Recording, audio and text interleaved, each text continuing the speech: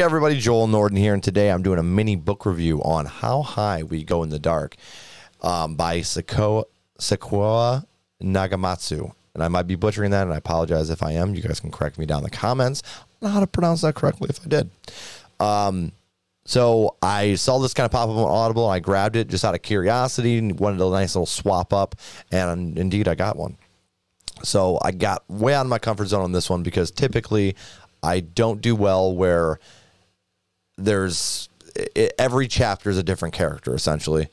Um, and it, it's hard for me to get into books like that. Now that being said, I knew that going into it after I got it and I read the description and I was like, okay.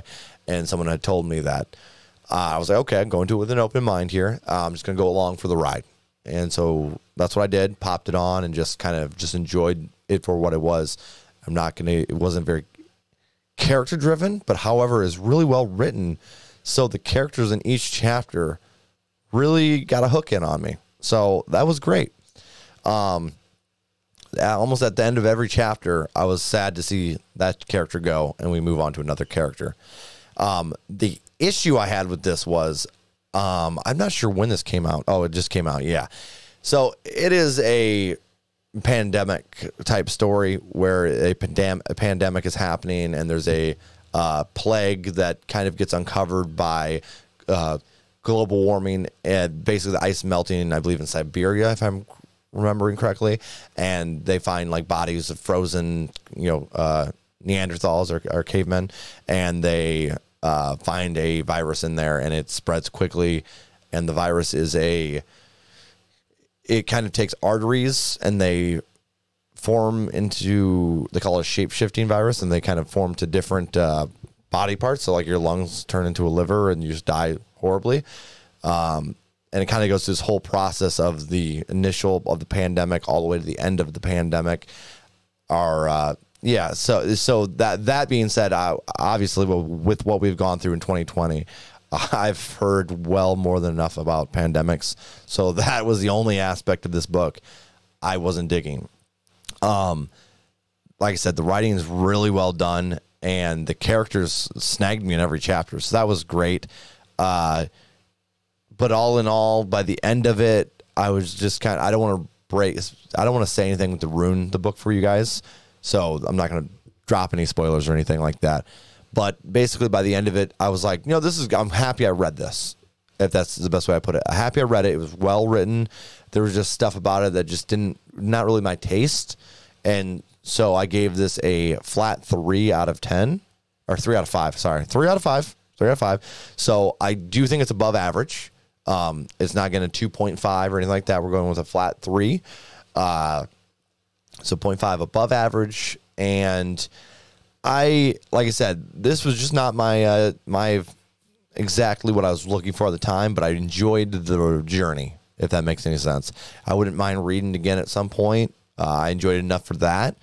Um, but yeah, I, I, I definitely think this is worth looking into. If if any of that sounds interesting to you, just I kind of went in blind, and the only thing I knew about it was there's going to be a lot of different characters, and you know that that's that was great. Actually, this was way more enjoyable than I thought it would be because of that.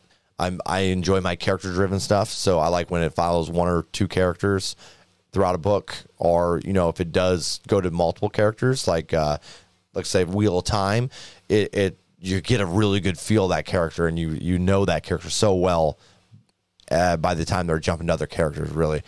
So I really like that kind of style, but like I said, they did uh, Sequoia did so well with that because I by end of every chapter I was hooked on the character no matter how much I was like, eh. And then by the end of the chapter, I was like, okay, I kind of like this character. Um, I found a lot of the stuff really interesting. Uh, some of the other issues I had were the future. It kind of gets into a futuristic area, and it's just not very futuristic. Um, I, I feel like there'd be a lot more happening in the uh, hundreds of years span that this goes over. Um, it just kind of some of the stuff felt a little bit futuristic, but not much more crazy. And just for me, just thinking about the past 20 years, um, we went from like dial up internet to crazy fast internet. And the internet is like a worldwide marketplace from the 90s. That would have been a kind of a joke, right?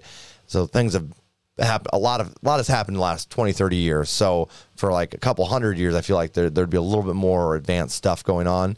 So that's my other little nitpicky thing. But other than that, uh, like I said, the writing's fantastic. And uh, if you're not really into the sci-fi or like you want you don't want that futuristic feel exactly or it's more of like maybe a humanity was struggling so they didn't get a lot of technology build up i can see that. That makes sense. Um, but yeah so I, I, it was just kind of a, a, slightly above average book for me. But uh, yeah guys that is my review for how high we go in the dark by Sequoia nagamatsu. Like i said apologies if i butcher that name i have a great habit of butchering names, and for most of you in the channel, you guys you guys already know that. So if uh, you I did mess it up, you can drop in the comments of how to pronounce that. But until next time, guys, uh, peace out. I appreciate you guys. If you do me a favor, hit that like button, hit the subscribe button if you enjoyed the review, and uh, come join the community. Until next time, guys, peace.